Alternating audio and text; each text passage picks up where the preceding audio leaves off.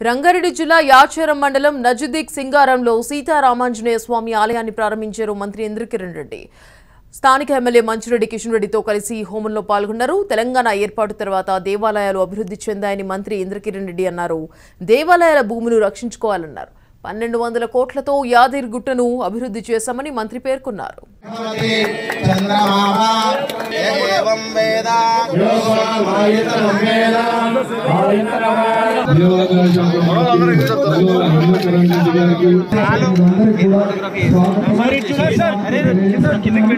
నజదీక్ సింగారం నందివన పట్టణంలోనే ఓ హిందుత్వానికి మార్పేరు ఉన్నటువంటి గ్రామాలు మన యొక్క నియోజకవర్గంలో టెంపుల్స్ అన్ని కూడా పెద్ద పెద్ద మంచి స్థానాలలో ఉన్నటువంటి సందర్భం. తర్వాతనే దేవాలయాలు ప్రతిష్టపెరిగింది భక్తి మార్గంలోనే ముక్తి ఉంటుందని చెప్పి ఎమ్మెల్యే గారు బాగా దేవాలయాలు ప్రాంతంలో ఉన్నాయి. వాటన్నిటి కూడా పునరుద్ధరించాలి.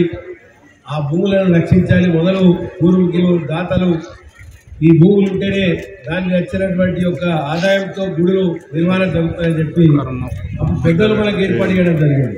దేవాలయాలు కొన్ని శిథిలావస్థలు ఉన్నాయి. వాటి పునరుద్ధరించాలి తప్పకుండా తప్పకుండానే రాబో రోజులలో ఎమ్మెల్యే గారు చెప్పినట్టు మీరు ఈ అసెంబ్లీ ఇప్పుడు ఎనిమిది పది రోజులు ఎప్పుడు ఉంటుందో ఆ సమయంలో మీరు తీసుకొచ్చి ఇచ్చినట్టయితే మీరు కనీసం ఒక సిక్స్టీ సెవెంటీ ఫైవ్ పర్సెంట్ కానీ మంజూరు ఇచ్చి పనులు కూడా మొదలు పెట్టడానికి ప్రయత్నం జరుగుతుంది. గౌరవ ముఖ్యమంత్రి కేసీఆర్ గారు కూడా ఆయుధ చండీ యాగం నిర్వహించారు. అటువంటిది యాదగిరిగుట్ట లక్ష్మీనరసింహ స్వామి ఆలయం మార్చి ఇరవై తేదీలో మళ్ళీ పునర్ప్రతిష్ట కార్యక్రమం జరుగుతూ ఉంది. మరి భక్తులకు దసరా కార్యక్రమం మార్చి ఇరవై ఎనిమిది రాజులు మహారాజులు నిర్మాణం చేయనటువంటి కృష్ణ శిలలతో పన్నెండు వందల కోట్ల రూపాయలు ఖర్చు పెట్టి ముఖ్యమంత్రి గారు దేవాలయం నిర్మాణం చేశారు.